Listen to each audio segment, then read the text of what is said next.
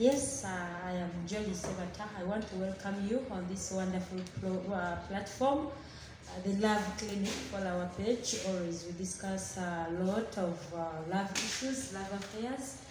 Yeah, right now I have uh, I've hosted his voice Frank Sebatta is going to tell us about this question that I'm going to speak right now.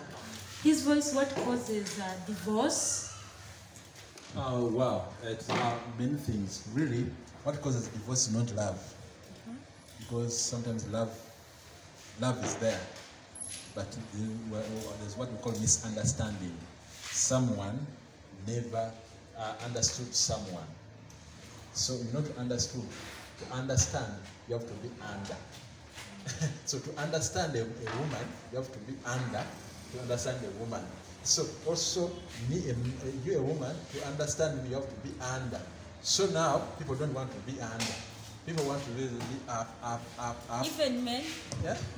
Oh wow, you say to understand someone you, you, you have to be under. Yeah. So you're saying even men should be under Yes. women to understand them. Yeah, that's it. Oh, wow. That- that's it. Yeah, men. Let me tell you, though you're a man, yes, we know, but sometimes you need to come. Sometimes you need to keep quiet when you have to talk, and you keep quiet, and some the issue is solved.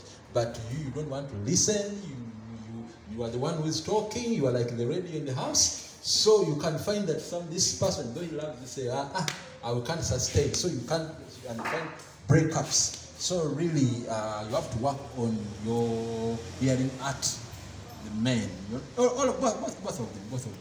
Yeah, like also a woman have to ask for the hearing art. So some know always all about falls into leadership. As a leader, you should always be an hearing art. A, a, a man, you are a leader, and also a woman, you are a leader.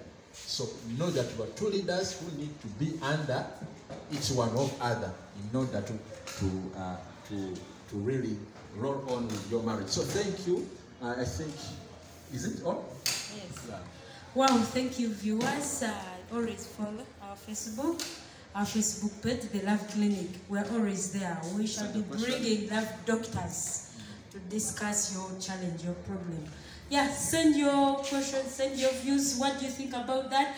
Bye bye. See you next time. Yes, thank you.